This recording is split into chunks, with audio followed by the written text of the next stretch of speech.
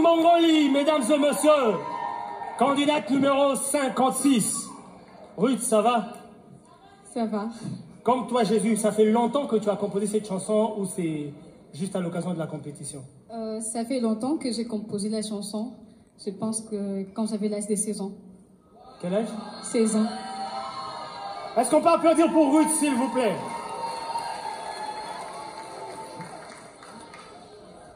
Mesdames et messieurs, cette finale est à portée des mains.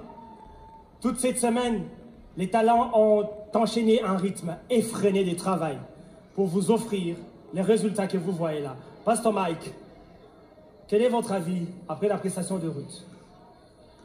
Ruth, je bénis Dieu pour euh, la grâce que tu es. Toutes les fois que tu ouvres ta bouche pour chanter, tu nous communiques beaucoup d'émotions.